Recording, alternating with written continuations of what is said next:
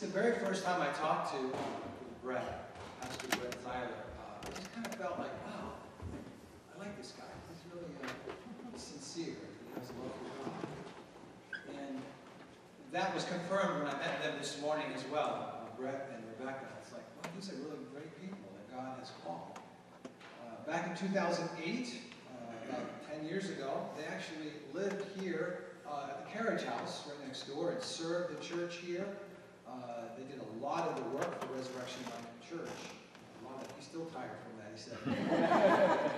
so, uh, they know the city somewhat. I mean, a lot better than you know, a lot of people. And uh, kind of like a little drive down memory lane when they parked over here beside the carriage house this morning. I could see it in his eyes. Yeah, wow, okay. It's the first time I've been back here for a while. But um, the Zeilers have felt a call upon their lives to go to a nation of Cambodia. And he has a little slide on this, but if you know anything about Cambodia, that's uh, only about a 1% Christian country. And they're going to give their lives to the people and children and to make a difference in a nation that really needs Jesus. You probably, if you understand anything about history, you know that Cambodia has gone through uh, previous decades of great, uh, just horrific uh, genocide, all kinds of pole uh, killings. Two million people, I believe, on there in a small country of about 14 million. Two million people were, were killed just because they might have had a book or they might have had glasses, or they were educated. The leader wanted to kill all people that had any education. Amazing. But anyway, so they're going to Cambodia, we're delighted to have them here this morning with us, uh, and their three children.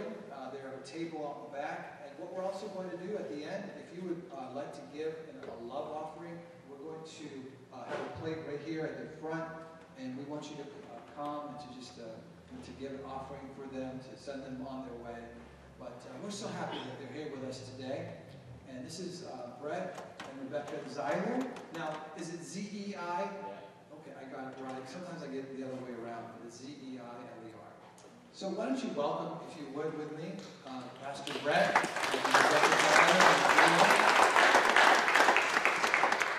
Okay. You want to test out your mic? Yeah. Am I, am I good? I sound good. I can shout though too. So I really usually don't have much of a problem with uh, with that. Well, thank you guys for having us, and uh, we're we're excited to be here. It feels really cool. It's been, uh, as Pastor Mark shared, um, 2008.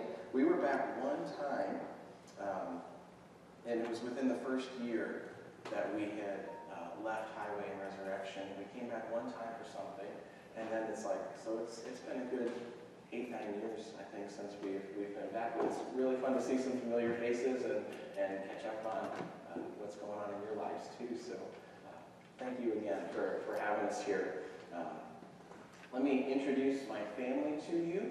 Um, other ones are back there, but we have Nadia, and Nadia is eight years old. Rebecca was pregnant with Nadia when we left. So Nadia was like, I lived in Philadelphia. And we were like, well, you know, yeah, that's that's debatable. But uh, so Nadia was born in Lancaster, where we where we moved from here. But Nadia's eight years old. She's in third grade. Uh, we have Josiah.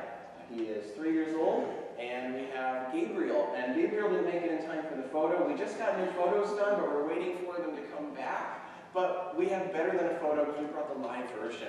So here's Gabriel back here. So wants to hi Gabriel. So Gabriel, uh, Gabriel's six months old. He was born in January, so he's the, the youngest missionary to Cambodia currently.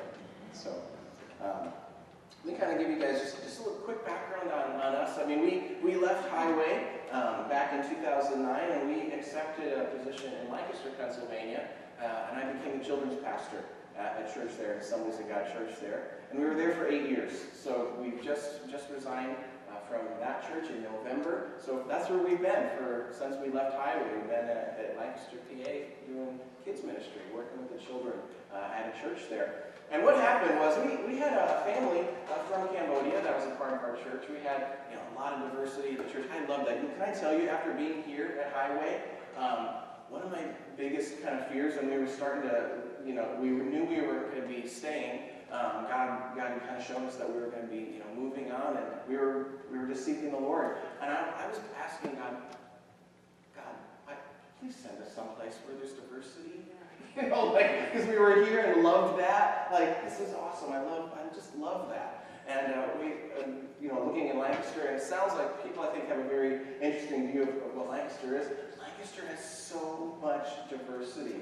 Uh, we had we had families from our church, I had I had kids of every color in my ministry, and I, I loved every second of that. So we had a family from Cambodia, and uh, what we did is uh, one one Sunday I was leading worship, and as soon as I looked at the one girl from Cambodia, all the kids who were worshiping in front of me became Cambodian children, and uh, the Holy Spirit just was so overwhelming, and uh, I I went home just spinning because I didn't know what to do with that.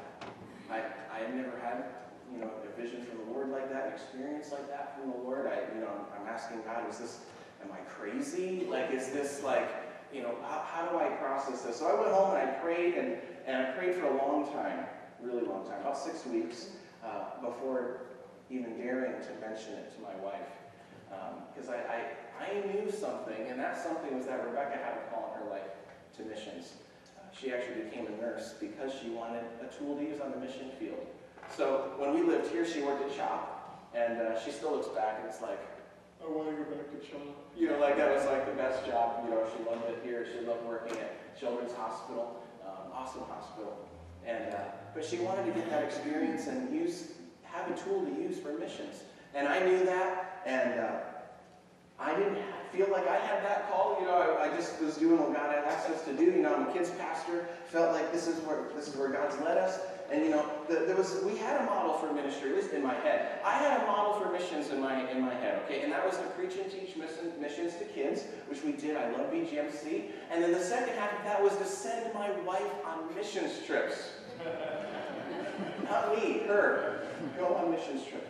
So a few years ago, she went to Haiti and you know, did, did some missions work there. And, you know, I, I had no problem with this model, you know, but I, I was really, really um, sensitive about talking to my wife about what God was kind of speaking to me because I didn't, I kind of wanted a one, two, three, you know, this is exactly what God is saying, and He didn't, and I, I wanted to fast and pray. After about six weeks of God not speaking and me praying every single day, and my wife looking at me going, I know something's wrong, Brett, but you're not talking to me. You know, something's, something's off with you. And, um, told my wife, and of course her first response after I told her what happened is, hey, you know that's a call to the mission field, right? And then the second thing she says is, when are we leaving? And, you know, because, not because she was unhappy in Lancaster, but because this has been on her heart for a long time. So didn't take much convincing as far as that goes. I know different different missionary couples have different experiences of, you know, God speaking to one spouse and then it takes a longer for the other one. I was the one that took a little while, you know, but God, God spoke to us. And we fasted we prayed together. And during that time of us fasting and praying, God just spoke really clearly to us. And uh, it was from John chapter 15, from his word. And he said, My sheep know my voice. We're asking God, what are we supposed to do? And he just said, You know. My sheep know my voice. You know what I'm asking you to do. You heard already. Yes or no? So, the only reason you're going to Cambodia is because we're saying yes to what God's asked us to do. So we resigned, um, stopped working at New Life, our, our church in Lancaster in November, and uh, since we've been connecting and preaching and teaching missions and, uh, and raising our budget, and once we get there, we're, we're going to be going. So let me share with you guys a little bit uh, about Cambodia. Pastor already shared some things. It's pretty cool. So, so a lot of people are like, they don't remember history too well. Seems like, or they have selective knowing of, of history. But um, I have the next slide is a, is a map of Cambodia. It's in Southeast Asia. Okay, it's next to Laos and Thailand and Vietnam. Uh, it's a very poor country. Um, about $600 a year is about how much the average person makes in that country. And uh, it, there's one, one tourist site in Cambodia. The next slide, I think is the flag, but there it is. That's what I want. Um, Angkor Wat is this beautiful temple that's there in Cambodia. If you take a look at tourist websites, actually the average stay of a tourist um, in Cambodia, they have a huge booming tourist industry, and the average tourist stays one night. Not very booming. Okay, I was being sarcastic. So most people stay one night, and that's because they want to see this temple. And uh, it's just kind of one of those ancient wonder kind of world things. And it's used as a Buddhist temple currently. But maybe you know about that. Maybe you've seen pictures of this, this place called Angkor Wat. Um, that's up there in the north part of the country. Uh, Cambodia has about 16 million people currently, and 40% of them are under the age of 18. That's a lot of kids. I already shared our experience, right? Kids pastor, my wife, pediatric nurse. For some reason, God's sending us to a country with a lot of kids. We believe God has a plan for that, and there's a reason for that. So we, we have that on our hearts to, to work with work with the kids. Um, I got a picture of some of the kids. They're really cute. I think there they are. This is a picture I took last year while I was there for a time. And uh, next to a really tall missionary named Ken. He's actually going to be our boss while we're there. So there's, there's Ken next to a whole bunch of kids. Um, let me share with you some statistics, okay? There's, uh, next slide here. Um, there's some more kids. 97% Buddhist in Cambodia. It's a Buddhist country. Far and wide, Buddhism. 2% Muslim, and 1% everything else. Uh, so Pastor shared it's about a 1%, 1% Christianity. It's actually less than 1%. Because 1% includes everything that's not Buddhism and Muslim. So that included in that 1% is Christianity, but also every other religion that's out there in the world. It's somewhere in Cambodia, there's people practicing it, which means that it's like well over 99% of people in Cambodia have no idea who Jesus is. It's an unreached nation, according to the Assemblies of God. There's not enough Christians. There's not enough people there. There is a, a small growing church there, but there's not enough. If I asked you around this room, if we took, took kind of a quick survey, which we won't do, how did you come to accept Jesus? Almost every single one of you will tell me because of a family member who introduced me to Jesus or a friend who introduced me to Jesus. There's the rare occasion where somebody else comes to Christ, walks into a church, or just encounters the Lord in a powerful way, or a complete stranger witnesses to them. Those are, the, those are the exceptions. Most people, because of a friend or a family member. So what do you do where you live in a country where you might live your entire life and never even meet a Christian? How do you hear about Jesus? How do you come to accept him? Well, that's why God sends missionaries. That's why we're, we're going to go. We want to be able to spread the good news of Jesus in a place where he's not known. Okay? The most shaping information uh, kind of about Cambodia, Pastor shared a little bit, actually, and that's between 1975 and 1979. So those of you who are just a little bit older than might remember hearing firsthand on the news about a guy named Pol Pot. He led a group called the Khmer Rouge, which means the Red Cambodians, the Communist Cambodians. So this Communist Party quickly took power in 1975. And for four years, they ruled that nation, and they had a plan, or I should say, Pol Pot had a plan, and that was to gain control. That's all he wanted was ultimate control. And he did that by eliminating anybody who was a threat to him. Quickly gain power, quickly eliminate threat. Okay? Now, I need a little bit of help from you. Okay, I've been a kids pastor too long, and you're making me nervous. Because I'm used to my audiences moving and talking. And I, I, you know, I don't mind talking in front of adults, but they make me nervous. So here's what I want you to do. If you could just help me, I promise I won't make you do anything weird. Could you quickly just stand up for me? Everybody just quickly stand up if you're able. If you're not, don't worry, it's okay. Here's what I want you to do. I want you to imagine in your mind that you're in Cambodia. Okay? The year is 1979, so we're towards the end of Pol Pot's rule. Now, if you're a threat, you are executed. People were put into what's now called the killing fields. Those were those are just working camps. You know, in, in World War II they had, you know, in Nazi Germany they had, you know, the extermination camps and they had working camps with barbed wire. In Cambodia they had rice fields okay, where people were put to work, and they would find out about you. They would have spies planted. They would try to find out information about the people who were working there. And every day, public executions took place in these killing fields, in these rice fields.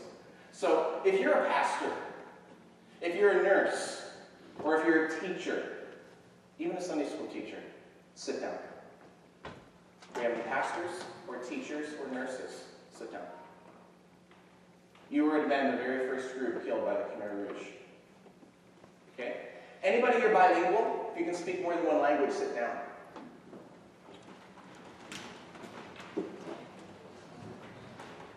If you can speak more than one language, you've had access outside of Cambodia. You've had education outside of Cambodia. That is threatening. You would have been killed for being bilingual.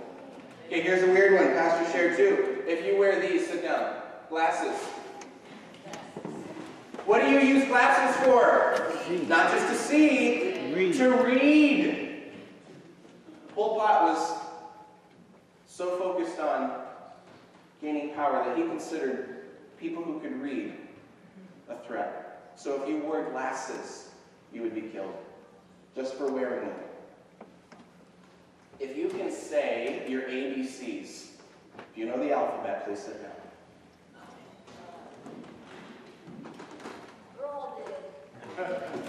Take a look around the room. How would you guys have done in Cambodia in 1979? Not well. Think about, think about this. Okay, Cambodia was already a third world country. It was already a struggling nation. What does it do to a nation when you kill every person with even a basic education? Every teacher, every doctor, every nurse, every person who's gone to school. Almost a third of the nation was killed in four years during the time of Pol Pot. He killed almost a third of his own people. That's crazy. In fact, that nation is still recovering. It's such a shaping piece because, you know, it's it happened 40 years ago, but it's almost like it happened yesterday. You know, I went there last year. Was able to go uh, for a season, just, just a short time. And, you know, I walked around one area that was one of the killing field areas. It was a place where they let people go. And just walking around, there's still bones and clothes coming up and out of the ground everywhere. And I don't say things like that to shock people. I say that because, you know, in the minds of the Cambodian people, this is still very real.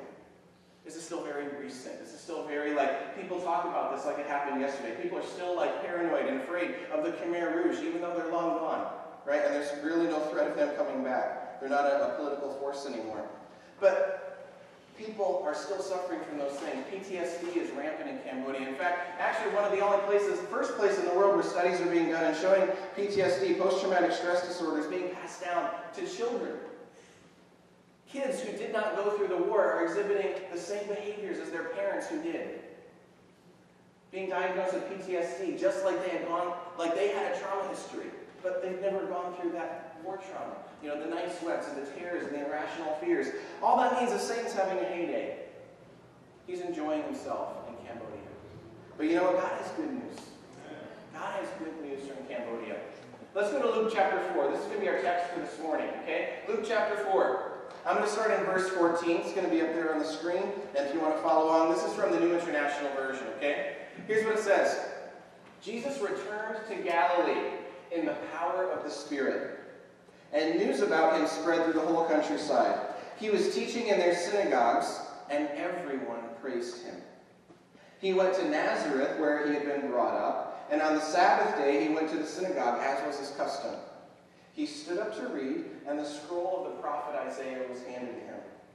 Unrolling it, he found the place where it was written, The Spirit of the Lord is on me, because he has anointed me to proclaim good news to the poor. He has sent me to proclaim freedom for the prisoners and recovery of sight for the blind, to set the oppressed free, to proclaim the year of the Lord's favor. Then he rolled up the scroll, gave it back to the attendant, and sat down.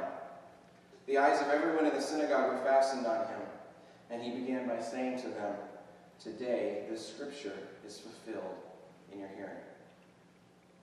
I'm going to give you the whole big idea here for, for where I'm going to go. Okay? I'm going to wrap it in one, one big phrase. Okay? Here's what we need to do. As followers of Jesus, we must be anointed with His Spirit to continue His mission of proclaiming the good news to the poor, the broken, and the lost. If you're a follower of Jesus, this is the only reason why He hasn't come back yet, and the only reason why you're still here on this planet. As a follower of Jesus, we need to be anointed with His Spirit to continue His mission of proclaiming the good news to the poor, the broken, and the lost. So you know what? Let's go to the very first thing, and that we have to be anointed, okay? We have to be anointed by the Holy Spirit. Now, as a kids pastor, I kind of ask questions like, what in the world are you talking about? You know, here's, here's my question to you. When was the last time you were at work? Or the last time you were at the corner grocery store picking up a bag of chips? And the topic of conversation was about the anointing. When have you ever been outside of church and heard the word anointed? Have you ever? Unless you're watching like an evangelist on television, maybe, right? That is not a word that people use, anointed. Only people from church know what that word is, or have ever heard that word. That's a church word, right? That is not a word that people use. So what in the world does it mean? What does the word anointed mean? Well, if we took a look at the Old Testament, take a look at the word anointing. Do you have any, do you have any oil they use to anoint people, Pastor Gary? Where is that? If you, awesome, thank you. If you took a look at the Old Testament and said, what does it mean to be anointed? You'd find that there's a lot of greasy people. Because you know what it means? Literally, it meant to take olive oil and to dump it all over someone. Very simple. You know, we could take this entire little vial of olive oil, there's not too much here. We could unscrew the lid. We could come over here and we could dump this all over Pastor Mark. We could just let it all flow on top of him. You guys could all stand back and say, We have such an anointed. And in a literal sense, it would be true. That's what it means. But you know, God had a reason why he would ask people to get olive oil dumped on them.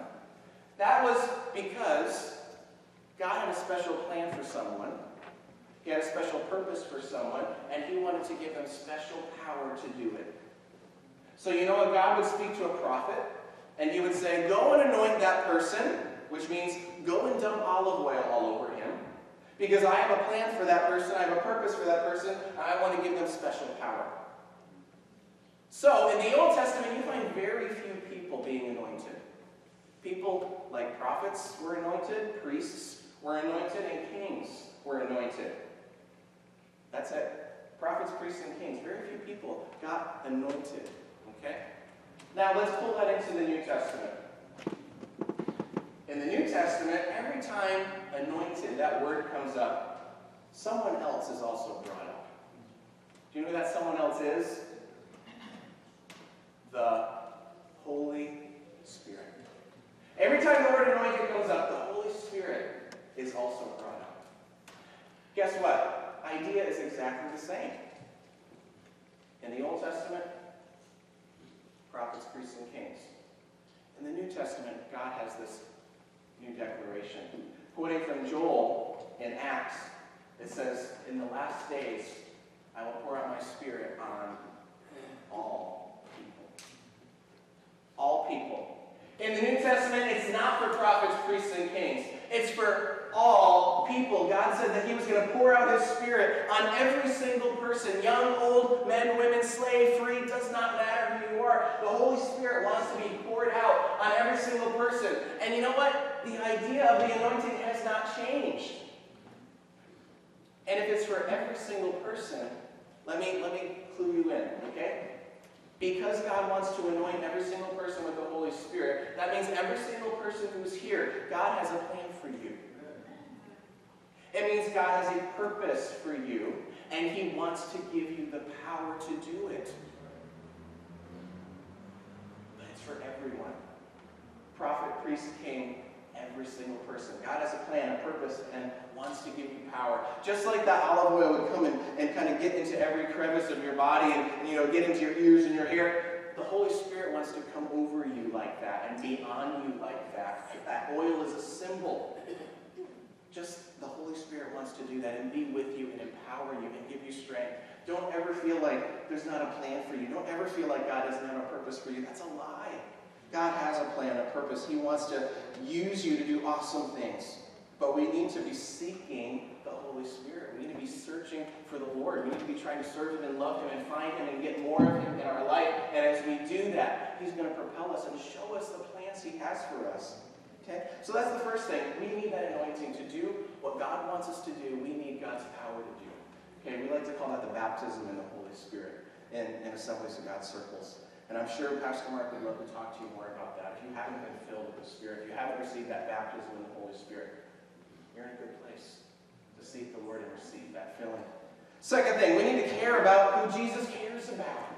Once we receive that anointing, once we have the Holy Spirit in our life, we need to care about who Jesus cares about.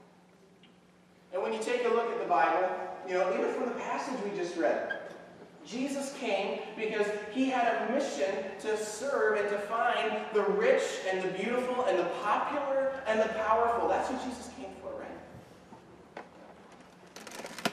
You're sleeping. Is that who Jesus came for? Well, sort of. You say Jesus came for everybody. Well, yes, he did. But in the Bible, when you take a look at who Jesus specifically came for, it said, The Spirit of the Lord is upon me. Hey, Jesus was anointed. The Spirit of the Lord is upon me because he has anointed me, Jesus said. Jesus was anointed. Boy, do we need to be anointed. The Spirit of the Lord is upon me because he has anointed me to proclaim good news to the poor. That's who Jesus came for. Jesus came to bring good news to the poor. That is who Jesus cared most about. Now, we all have a problem. The problem is we live in America. We have a very interesting view of the word poor in America. If I were to ask you, what does it mean to be poor? If we took a, another survey around the room, again, not time, I won't do it. And we said, let's, let's come up with a corporate definition. What does it mean to be poor? We're probably going to get lots of similar answers, okay? Things like if you don't have enough to eat, if you can't afford health care, if you're living on the street, if you don't have a place to live, right? If you can't afford new clothing, if you don't have what you need, you're poor. Right? Mm-hmm. How did I just describe, how did I just define being poor? Anybody pick up on it? in America. Material. I heard it. Materialism. In America, we think very materially what you have and don't have, and that's what it means to be poor. Well, Cambodia is a very materially poor country. I already shared $600 a year. That's not enough, even in Cambodia. Okay? Most people live on rice. That's what they have, that's what they eat. I've got rice on my back table because it reminds me, you know, people don't have enough in places around the world. Rice, if they're lucky, they can they have that a couple times a day. Little protein, not enough, not enough nutrition for kids, for families. But you go to a place like Cambodia, who is materially poor. They don't have enough. And you ask them, what does it mean to be poor? Give me a definition. Now, this is true of Cambodia or pretty much any materially poor country. You're going to get a very, very different definition from somebody who is materially poor. They will usually speak in terms of emotionally and spiritually. They'll say things, it means I'm stuck. I'm trapped. I have no voice at all. I don't matter. No one hears me. No matter what I do, I cannot change anything about my circumstances. I will live here, I will die here, my kids will live here, my kids will die here. It will go on and on like this. There's, there's nothing to be done. I don't matter. I'm no one. The number one feeling associated with being poor around the world is hopelessness. No hope. So here's, here's a question I want you to ask yourself. Have you ever felt hopeless? Have you ever been in a situation that was so big you could not do anything to change it? Overwhelming.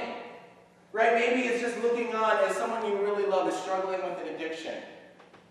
You can't do anything about it. Coming home one day and finding a note from somebody that you loved saying goodbye. Going to the doctor and hearing an awful diagnosis. Maybe struggling with depression, having that sucking feeling in your heart that doesn't go away no matter what. Have you ever felt any of those things before? Guess what? You're poor. That's what it means to be poor. I want you to take out the word poor from the scripture in Luke 4, where Jesus said, The Spirit of the Lord is upon me because he has anointed me to proclaim good news to the poor. Take out the word poor because you're too American. You can't handle it. Put in the word hopeless. And you'll have a good understanding of what Jesus is talking about. Jesus came to proclaim good news to the hopeless. Okay? Start looking around you and ask yourself who is in my life who's hopeless? Who are you working with who's struggling to have hope? Who's in your family who does not have hope? Who's overwhelmed by the circumstances of life? Who, who doesn't know the way out? They're all around us. Guess what? That's your number one mission field. Because that's who Jesus came for. And if you're feeling that way yourself this morning, there's good news. Jesus is here for you. He wants to transform that. He wants to change that in your life. My wife has an awesome testimony of being set free from depression. I'm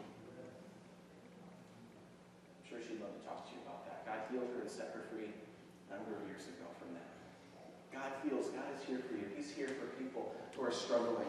So, in Cambodia, for us, this won't be too difficult. I already shared with you the statistics of Buddhism, but most people don't know a whole lot about Buddhism. Buddhism is an absolutely hopeless religion. If you're a Buddhist, you're hopeless. That kind of goes hand in hand. There's really no other way around it.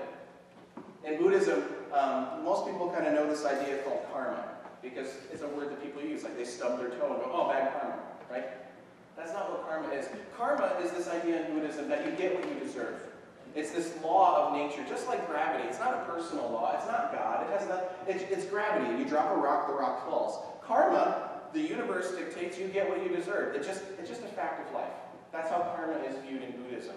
They also have this view that reincarnation is how the life cycle works. They call it samsara. This life cycle that you are born, you live a life, you die, you are reborn. You live a life, you die, you are reborn. And all of those things go in this big circle and on and on and on. They believe each one of you has lived thousands of previous lives. And the life that you are living right now is the life you deserve. Because karma will tell you that you will be born this way because if you if you're a good person, you'll be born rich. You'll be born into good circumstances. If you are if you had not been a good person, you'll be born into poor circumstances. So the poor deserve to be poor. The rich deserve to be rich. The rulers deserve to rule and not be questioned.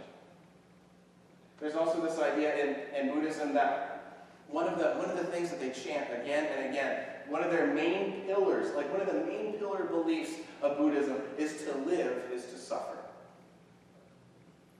That's it. To live is to suffer. That's just a part of life. You will suffer if you are alive. So, as a Buddhist, your goal is to break out of this, this circle of being living and dying and living and dying and living and dying. Because as long as you are reborn, even into a rich circumstance, as long as you are reborn into this world, you are going to suffer. To live is to suffer. So you want to break out of that living and dying cycle and you want to go to a place called nirvana. It is not a rock band. Okay? Nirvana is also not heaven. Okay, nirvana is this idea where you kind of just join the spiritual universe and you cease to have a self. Your, your soul kind of just gets dropped into this bucket ocean of spiritual cosmic stuff, and you're, you no longer you no longer are. So think about it. Imagine if the entire point of your religion was to stop living and cease to exist. Welcome to being a Buddhist. What did Jesus say? Jesus said, I have come that you might have I've come that you might have life, and abundantly. The Buddhists, the entire point of the, their life is they just want to stop living.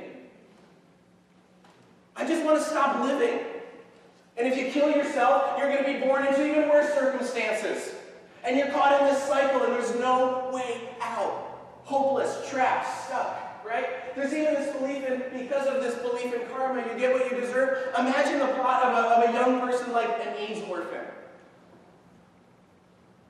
There's a belief in Cambodia that the Khmer Rouge soldiers, people who had committed these atrophal, this atrocious genocides, Khmer Rouge soldiers are reborn as AIDS orphans.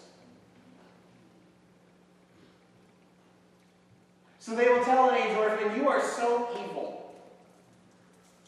You were such an awful, evil person in your previous life that karma has dictated you have come back as an orphan with AIDS and you deserve it. Nothing personal, just the way it is. And not only that, but since you are so worthless, you're so below any sort of chain of importance, it doesn't matter how I treat you. It doesn't matter how I use you. You're so worthless, it's not even really going to affect my karma for the next life. I can abuse you and use you how I want. Doesn't matter to me. That's not okay. God has a plan for every single person. He has a purpose for every single person. He wants to use you. He wants to use us. He wants to use his followers to reach people who need to know there is hope. That's why we are going to Cambodia.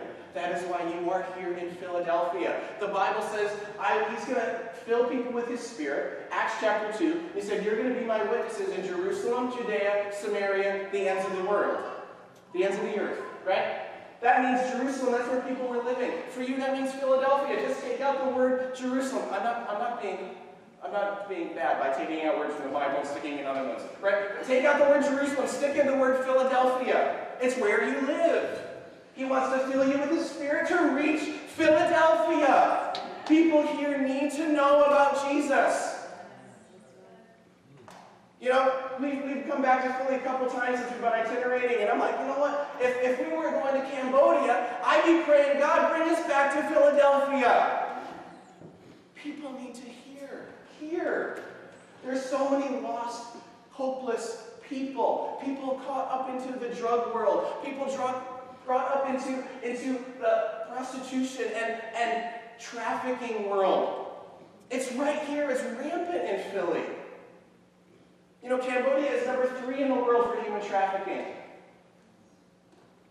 But it's rampant in Philly. It's not hard to find people who are being trafficked here. Start caring. Start caring. Do something about it. Stop posting stuff on Facebook about how abortion is terrible and go volunteer at a pregnancy center and get across the room face to face with a girl who needs to be across the room from a spirit filled person who loves Jesus and can speak into her life. Do something. That's the last point. Can we just put that up? If you care about who Jesus cares about, you have to do something. Jesus went to church. We read that in the, in the scripture we just read. If you need me to remind you, says Jesus went to the synagogue as was his custom. Jesus went to church. I am all for people going to church.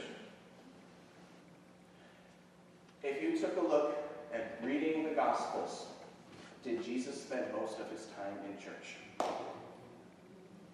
He went to church. Did Jesus spend most of his time in church? No, he did not. Where did he spend most of his time? On the street with people. He was with people who needed to know him. He was with people who needed to see his power. He was with people who needed hope. He went to church. But then he spent time purposely said to seek and to save the lost. That's a purposeful thing. I'm going to seek. I'm going to do something to find people. Jesus said, I would leave the 99 to find the one. That is purposeful. Okay? We need to be purposeful in doing something to reach lost people. Don't just pray, oh God, please send people to Highway Tabernacle. Very few people magically come off the street into a church. That's not how people get saved. People get saved because people who are filled with God's Spirit go and speak His words. You know why people speak in tongues? I mean, people talk in tongues. And you know, we talk about that in Pentecostal circles. Oh, we're going to speak in tongues like it's wonderful. You know? The only purpose of speaking in tongues, I believe, is because if you can trust God enough to use your tongue in a language you don't understand, you can trust Him to use your tongue in the language you do understand. Open up your mouth and say something and believe that the Holy Spirit is going to give you the words Do something. Start looking around you and asking, who do I know who's hopeless? Start by praying. Okay? I had a pastor friend, and a permanent marker, he wrote the name of five friends on a coffee mug of five friends who didn't know Jesus. He drank coffee every morning, so guess what he did every morning? He prayed for his five friends. He started by praying. You know, over the years, one by one, he was able to cross names off of that coffee mug. Because he was purposeful, trying to find. Okay, maybe if you're frustrated about the school system in here in Philly, have you ever thought of actually like running for a, position? Do you think God could use a spirit-filled believer on the school board in the Philly system? We were here. I know what the school system is like here. Do you think God could use some spirit-filled people to speak into families and kids and, and the system? Right? Is there are ministries in your area? I see you guys are you guys are doing prayer walking. Start there. Go out. If you're not here for the prayer walk on a regular basis, start by joining the prayer walk. Begin by praying for this community. Saying, God, what are we going to do? How are we going to reach it? Who, who do we need to find? God has a plan for you, and that plan is to reach other people who need to hear about Jesus. Right? Because you know what, Christians, we have we have this, this problem of getting into church, and then within a very short time, the only place we go is Bible studies on Wednesdays, small groups on Tuesdays. We go to work for the time that we have to go with our head down. And then we come to church on Sunday. And before we realize it, we look around and we don't even have a single friend who doesn't know Jesus. Be purposeful about putting yourself in some darkness. Jesus did. If you don't have darkness around you, start asking God where you need to go, what you need to do, who you need to reach. Our job is to reach out to people who are hopeless, who need. We're going to try to do that in Cambodia. You need to try to do that here in Philly. Okay? It's the same thing, though. People look at missionaries like we're crazy, we're weird, we're doing this crazy thing. No, we're not. We're just trying to spread the good news of Jesus. We're all fulfilling Acts chapter 2. Be his witness. Spread the good news in Jerusalem, Judea, Samaria, the ends of the earth. You guys do that in Jerusalem. Do that in Philly. We will do that in the ends of the earth. Guess what? We're all just doing the same Bible verse. That's it. We're not, we're not any different. God's just asked us to do it somewhere else. So that's what we're going to do until God says something else. Let's put up the last slide. I need to stop talking. I'm fired up and it's hot in here. So, last one. This is us, okay? As, uh, as missionaries, um, what we're doing is we're connecting with people. We're, we're raising the budget. That's kind of just how it works. Once we, uh, once we reach 100% of our budget, which means people uh, partnering, churches partnering with us on a monthly basis, then we're able to go.